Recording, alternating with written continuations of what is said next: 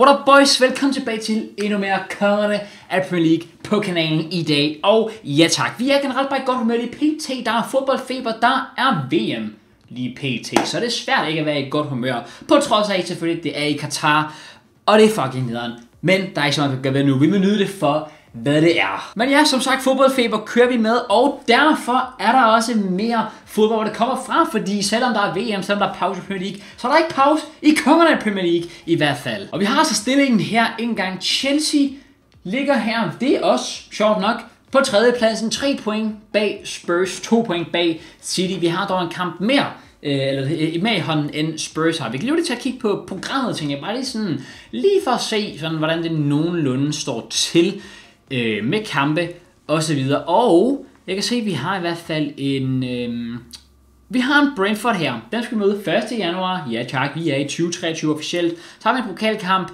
mod både Spurs og en pokalkamp mod, øh, hvad er det, Peterborough har jeg lyst til at sige. Det ligner det også, der står faktisk Peterborough. Og så har vi Aston Villa i Premier League, også igen Stoke i pokalen. Så ja, generelt ikke de sådan, største, sværeste hold, vi skal møde i PT. Januar ser ud til at blive sådan en rimelig okay overkommelig måned i hvert fald. Så ja, vi har som sagt den første kamp mod Brentford. Jeg tænker faktisk, det bliver en kamp, der kommer til at spille. Så skal vi bare komme ind og få sat en holdopstilling. Og holdopstillingen i kampen, jamen den har vi altså her. Vi kører med de på kassen, så kører vi faktisk en del udskiftninger på holdet generelt. Vi kører Dumfries, Kim Pempe, for Van ned i forsvaret. Alle fire spillere, som ikke sådan normalt starter, måske lige med undtagelse af Kim Bembe, men selv ham kører, normalt kører jo Koulibaly og Thiago Silva, så fire helt nye spillere, kan man sige. Spændende. Så køber Zakaria Kanté Harvards på midtbanen, og op foran, og køber Mount, der er gang ud på højre kanten, Sterling på venstre, og selvfølgelig CR7 op foran.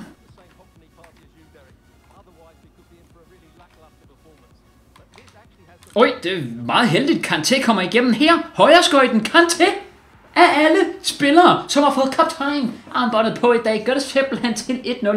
Jeg aner ikke, hvordan vi kom så let igennem med Kanté, men det er en dejlig aflevering af Harvards god fart på, øh, ja, simpelthen Kanté med det kolde højre ben. Vi tager den lige igen her. Jeg ved, man godt kæmpe af Harvards faktisk, det er det virkelig. Kanté, godt træk, og den sidder bare lige, hvor den skal sidde.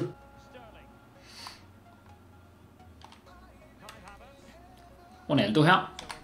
Lægger den af til Harvards. Lad os prøve udsidesparket. Nøj. Et, et frækt forsøg af Harvard. Han er i spilhumør i dag. Jeg kan lige se det.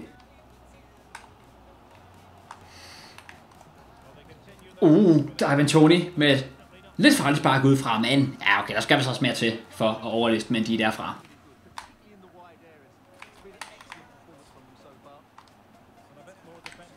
Det er faktisk godt spillet af Brentford, det her. Åh, det er virkelig godt spillet, men de, det er så vigtigt kommet ud, det der.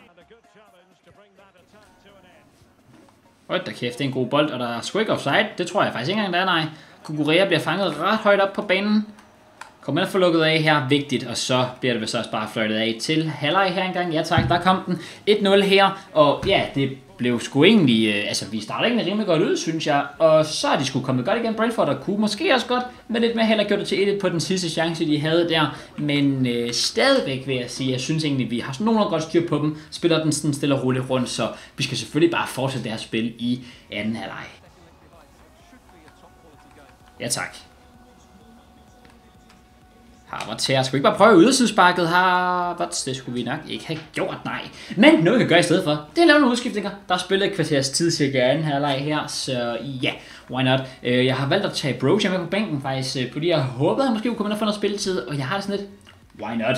Øh, jeg ved godt, at det kun står 1-0, lidt et sats, men vi gør det alligevel. Lidt en, lidt, en, lidt en forskel på, på Ronaldo og Broja, men ja, ja, lad os nu, lad os nu se. Og så kunne vi jo samtidig, well, kunne vi overhovedet samtidig lave noget andet? Ja, yeah kunne vi måske Dembélé i stedet for Mason Mount? Kovacic i stedet for Zakaria? Lad os gøre det. Uh, godt spillet ind det der af Brentford.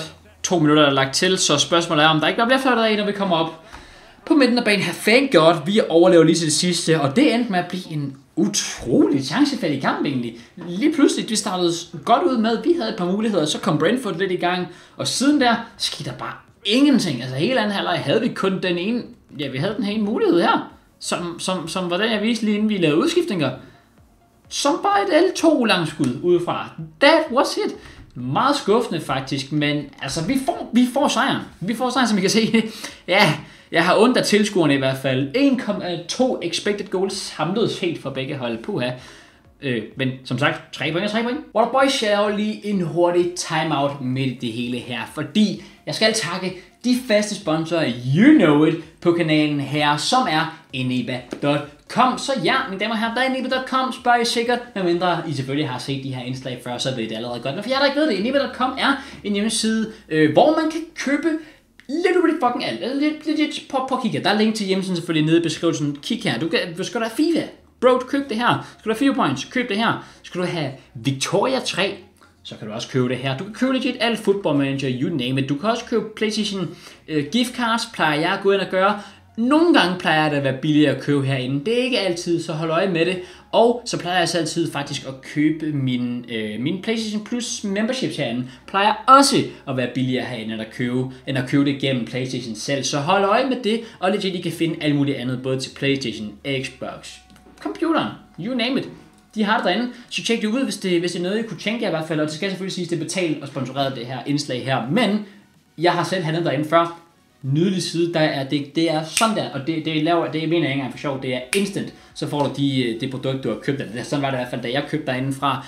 Øhm, og selvfølgelig så er det bare billigt generelt. Og I støtter mig ved det, så tak til dem. Link til den nede i beskrivelsen. Selvfølgelig, og det er 100% trusted også, ellers kunne jeg aldrig nogensinde drømme om at reklamere for det. Så tjek det ud, hvis det er noget, I kunne tænke jer. Og ja, lad os da bare komme videre med kongerne af Premier League. Og vi springer videre til den næste kamp, så var mod Stoke, som sagt, i Carabao det er semifinalen. Det er semifinalen simpelthen. Og derfor er det også, det er også derfor, der var to kampe inde på, øh, hvad hedder det, på programmet. Og igen tror jeg lige skal være helt sikker på, hvordan vi skal gøre det her. Fordi vi har også den her Peterborough-kamp mod, eller mod kamp mod Peterborough i FA-koppen. Og det er sådan lidt, altså, det er to lidt ligegyldige hold, kan man sige. Så det er ikke fordi, jeg har lyst til, at vi skal spille, altså en hel kamp, jeg skal spille. Jeg har overvejet bare at simulere det, men på den anden side, det er jo også en kopkamp, trods alt. Det vil også være nede og simulere, så ryge ud. Øhm, men ja, jeg tror det vi gør, det er, at vi simulerer i hvert fald lige den her mod Stoke. 100%. Og vi kan se, det er således, vi stiller op i kampen mod dem, selvfølgelig med Kepa på kassen. Det er kopkamp, så kører Rich James, Kulibali, Thiago Silva, Chilwell nede i forsvaret. Meget ironisk, at vi kører fuld øh, styrke i forsvaret mod, øh, well, et Stoke i en Cup, end vi lige gjorde mod Brentford, men it is what it is. Så kører vi Gallagher, Kanté Mount på midtbanen, og så har vi igen Dembélé tilbage i startelveren sammen med Sterling på venstrekanten, selvfølgelig som altid, og Aubameyang oppe foran, og på bænken er der vidderligt spækket med reserver. Så jeg håber at kunne se dem komme i spil i kampen her også. Oj, der blev det 0. Ja tak, Conor Gallagher, vi skulle helt ind til næsten slutningen af første halvleg. Jesus Christ.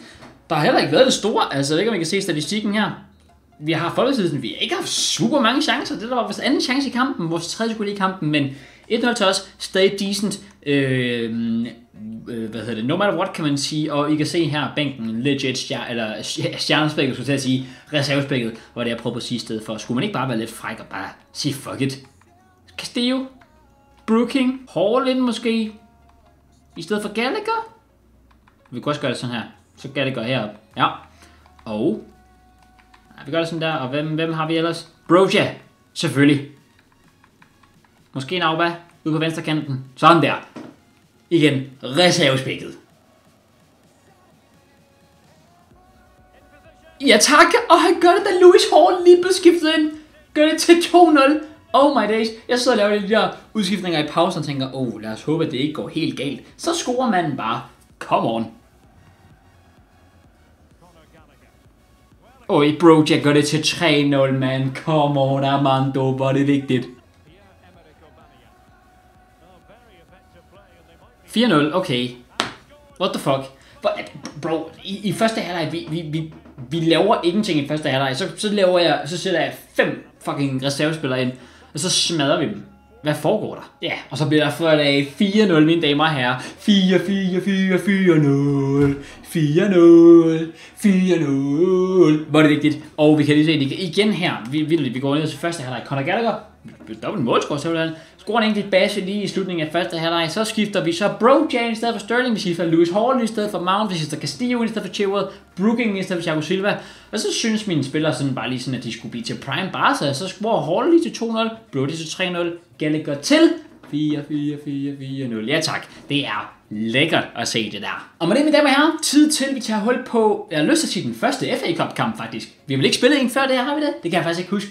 Ligegyldigt hvad, vi skal i øh, hvad er det så? To, der er i 32. dels finalerne. Er, er, det det, det hedder? Det ved jeg faktisk ikke. Øh, I hvert fald, så skal vi med Peterborough. Øh, med andre ord, vi skal vinde den her kamp rimelig stort. Det det, jeg som tænker, som sagt, vi gør, det er, at, øh, at øh, jeg var lidt i tvivl om, jeg skulle altså, simulere spille kampen. Jeg tænker, jeg kommer til, nu har jeg spillet en kamp, jeg har simuleret en kamp.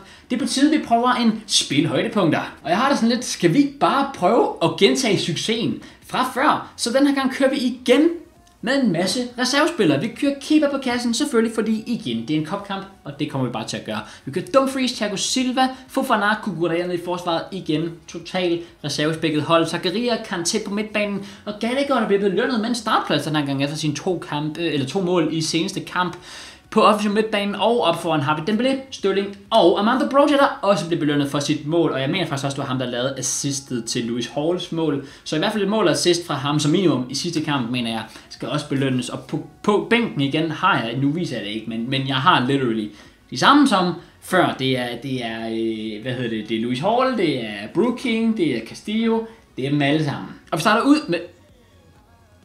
Oh, oh, Øh, det, det, det, det her, det er lidt akavet. Øh, please. Clark Salters. Gør det til 1-0. Oh my god. Øh, fuck.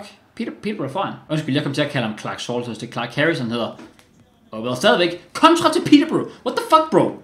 Hvad er det her? Hvad er det, der foregår? Øh, shit, man. De er to mod hvad? To mod fire? Okay, okay, det burde vi kunne afværge. Eller hvad? Det er en god bold. Ja, ja, stille og roligt. Okay, solo løber til den her gang. Kom on, man. Det er Raheem Sterling, der står over for Ward en mod en situation her. Og der skal vi selvfølgelig bare stikke den videre til Amanda Broja. Come on, Broja. Der er en vej. Ligger den af til Raheem Sterling, som... Oh my god, jeg var, bange, jeg var lige bange for, at han var ved at fuck det op. Jeg turde heller ikke selv afslutte den der med Amanda Broja. Jeg var sådan lidt, nej, nej, nej, nej. Vi tager det stille og roligt, og så var det eddermame, at jeg fucker det op alligevel. Men heldigvis gør det til 1 her. Come on. Indlægsmulighed til Chelsea. Vi fortsætter. Okay. 78 minutter spillet. Det er næsten lige før det nok bliver vores sidste mulighed. Det her Kanté modtager bolden, og de har mange spillere tilbage. Jesus Christ. Broja. Hvem har vi her? Harvard. Oh god, hvem er med her igen? Harvard. Jeg mangler sådan lidt der. Prøv, prøv, prøv at se, hvor stille spillerne står egentlig her. Harvard får den der. Og så løber den lidt ud i sandet, eller hvad? Amanda Broja! Oh my god, det var muligheden. Det var muligheden. Okay, vi har en mulighed til 88 minutter. Det, det er sidste chance nu. Altså, bro, det, det her det er sidste chance. Så come on. Jeg ved ikke, om jeg går ud fra, at vi ikke går i forlænget. Jeg tror, det bliver en replay, hvis det er. Vi ikke vinder her. Så sidste mulighed. Ligger den ind her til Dembélé. Afslutning med venstre skøjten. Og vi afgør det hele. Og vi har bare fået rødt kort, kan jeg se. What the fuck? Nå, vi gør det til 2-1. Og det er pinligt. Det er pinligt, at, det, at vi scorer 2-1 mod Peterborough i 88 minutter, og så laver vi sådan en jubelting der. Det er Chelsea Football Club. Det er faktisk pinligt. Men jeg kan ikke godt forstå, at fansene er skuffet det her. De har spillet en fantastisk kamp, og åbenbart, og så vinder vi det hele til sidst. Det er så vigtigt. Og det er det, der er så farligt ved at spille, altså, det er det, der er så farligt ved at spille, øh, hvad hedder det, øh, hvad det hedder, øh, højdepunkter. Fordi alt, at det eneste, de eneste højdepunkter, de faktisk havde, øh, Peterborough, var videre en strafspark, og en enkelt mulighed, som vi så fik afvejet rimelig godt. Så der var lige to muligheder, hvor den ene var ja, den største chance, du kan få i, i, i hele spillet. Så det var også svære odds, men vi gør det altså med de minimale chancer, vi har. Øh, gør vi det til 2-1 og vinder kampen på det. Og oh my days, det var lige ved, at det var ved at gå rigtig galt det der. Men heldigvis ikke. Jeg vil stadig gerne vide, hvad fanden der fik rødt kort egentlig. Kukurea fik et gult tidligt i hvert fald. Og så har han fået sit andet gult kort. Okay, lige inden Dembélé gør det til to, så har han simpelthen fået to gule kort. Castillo kan se, kom ind og fik minutter, og det gjorde Kai Havertz også. Okay, fint nok. Så Castillo fik det i hvert fald minutter af vores unge spillere. Det, det kan også noget. Og efter succesen i de to kopkampe, så er vi tilbage med øh, Premier League igen. Det er tid til at spille noget mere Premier League bold. Og som vi kan se her, vi indtager PT i førstepladsen. Vi ligger af point med Spurs. Et point foran City, så det er meget tæt, og United ligger også lige hælende på os faktisk med 5 point bagved. Selv Liverpool på en femteplads, så ja ja, lang sæson endnu, men det ser i hvert fald lovende ud så far. Vi har den næste kamp mod Aston Villa, og jeg tænker bare, at vi skal ind og have sat en holdopstilling. Og jeg tænker, at den her gang er der ikke så meget at komme efter her. Vi skal stille op i stærkest mulig holdopstilling, hvilket er Øh, på, eller hvilket lyder på følgende måde, men de på kassen, Reece James, Koulibaly, Kim Pemper, Chilwell nede i forsvaret med, Kanté, Kovacic, Harvards på midtbanen, og de tre spillere i front er Dembélé, Sterling og CR7. Så vi kan se igen, Aston Villa, vi spiller på legendarisk, og den her gang kommer jeg til at spille hele kampen.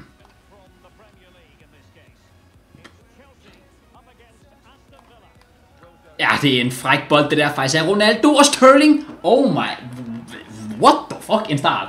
Hvad fuck var det for en start, vi lige fik sat sammen der. Ronaldo med en lun lille fræk øh, ydersideaflevering, lignede næsten til Sterling som rimelig kølig sparker den. Lad os lige se den igen her. Ronaldo holder altså godt fast på, fat på den, og når det var ikke engang ydersiden. Det er faktisk bare en maskeret indersideaflevering. Og knaldtørt sparket den af Sterling, eller tørt er det måske ikke, men, men, men køligt er det i hvert fald.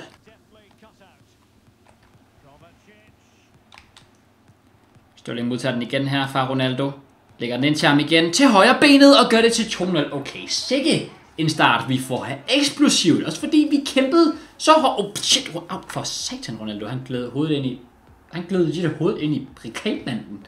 Fuck, det må han gøre næste der. Nå, no, anyways. Uh, what the fuck, det er så voldsomt ud. Men ja, den her gang er det Raheem Sterling, der lige, øh, hvad, hvad kan man sige, øh, øh, returns the favor til Ronaldo, og som selv den her gang også bare sparker ind med, med, med en stille og rolig inderside, og der kan man så se, af for satan, den må have gjort nas. Kan vi vide, man får en hovedskade eller noget?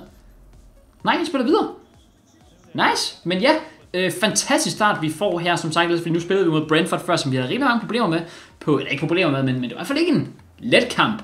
Og så har vi, nu skal, okay, skal lige så, hvad jeg siger, Aston Villa selvfølgelig. Ja, stille og roligt Reece James der, men ja, det er vanvittigt god start, vi har fået her. Åh, oh, det er en god bold. Det er en rigtig god bold, det der. Åh, oh, hvor er det en, en vanvittig god bold. Men heldigvis også får han ikke rigtig ramt på den der ordentligt. Frisbak her til Aston Villa i en meget farlig position. Coutinho løber til bolden, og vi redder den ind på stregen. Det er super, super heldigt. De har den dog endnu, men de... Okay, thank god. Oj, sidste mulighed her måske. Ja tak, Ronaldo bliver sendt i dybden.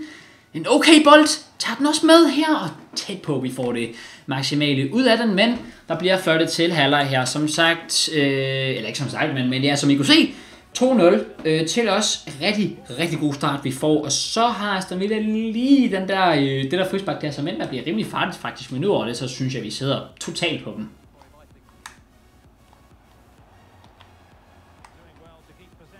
Ah, det er, ja, det er godt spillet, Aston Villa. Det er fandme godt spillet. Og jeg ved ikke rigtig, hvad jeg laver faktisk. Sidder egentlig rimelig godt op på manden, og så for some reason, så vælger jeg bare at sætte lige pludselig og, og, og gå ind i taktingen. Dumt lader mig. Ja tak, den vender vi højt op på banen. Kovacic. Sterling. Godt træk, han tager der, og venstre skøjten, og det er sådan en god mulighed, som vi skal have meget, meget mere ud af. Men anyways, øh, jeg tænker, vi lige laver de udskiftninger, der er nødvendige her til sidst for at køre sejren hjem. Så vi kører en Zakaria i stedet for Kovacic. Kører en Mason Mount. Nej, ved du hvad? Conor Gallagher får lov til at, han får lov til at prøve. Han har spillet godt på det seneste. Øh, godt nok har vi simuleret, men stadigvæk han få lov til at prøve. Øh, så kører vi en, øh, en, en øh, Aubameyang på kanten. Det prøvede jeg faktisk også øh, hvad hedder det, der før, da vi simulerede, mener jeg det var. Øh, så lad os, bare, lad os bare gøre det igen, øh, så vi kan også få sparet støvlen For lidt det er tydeligt at se, at han er træt. Og ellers, øh, så holder vi det nok bare på det. Ah, det er en god bold. Og det er rigtig godt spillet, Aston Villa. Nu skal vi altså lige holde hovedet koldt her en gang, mand. God takling i første omgang, men de får den sgu alligevel igen her. Og igen spiller de den godt rundt, Aston Villa. Det er så vanvittigt godt spil. Man kan virkelig godt se, at de presser på lige nu, mand. Og så er vi kørt her. Og bam, Sebastian med bolden her.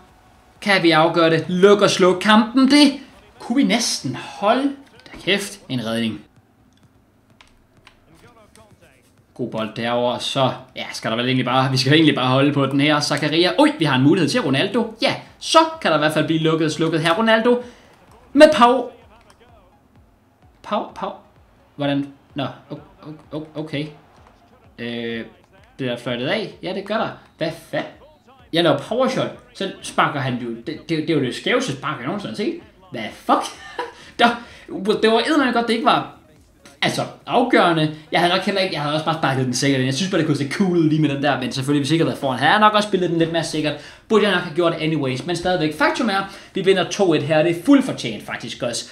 De, det, det er tydeligt, de lige stepper, stepper gamet op en gang her, Aston Villa hen mod slutningen, hvor vi måske, og der er vi lidt heldige, de ikke får med ud af deres chancer, men på den anden side, det er klassisk sådan rigtig EA-træk. Det er sådan, når, når modstanderholdet er bagud, så kan man godt se, at de lige skruer lidt op for niveauet en gang, men vi heldigvis øh, modstår vi presset og tager alle tre point. Anyways, mine damer og herrer, fire kampe blev det til, og jeg synes egentlig, det plejer at være sådan en rimelig fin længde på de her episoder her, så jeg tænker også, at vi holder her for i dag. Men jeg som sagt fire kampe, tre forskellige turneringer blev der spillet i. Det var to kampe i Premier League, to sejre, også i, øh, hvad hedder det, i to kampe, og så gik vi altså videre i øh, FA Cup'en, lidt heldigt mod Peterborough, ikke heldigt, men tæt var det i hvert fald, og øh, så smadrer vi hvem var det? Øh, Stoke 4-0 i den første kamp i semifinalen i Carabao Cup. Det vil sige, der er selvfølgelig en returkamp, hvor jeg tænker, den kører vi nok rimelig sikkert hjem i hvert fald. Nu skal jeg passe på, hvad jeg siger, men det tænker jeg. Og øh, ja, med det, mine damer og herrer, så var det faktisk det for den her episode her af Kongen Premier League. Og derfor har jeg gerne at sige, en selvfølgelig som altid, tusind mange gange tak, fordi I er som alle sammen. Hvis I nyder videoen her, så kan man selvfølgelig lige gå ned og smide like på den. Subscribe til som jeg. Og vi ses.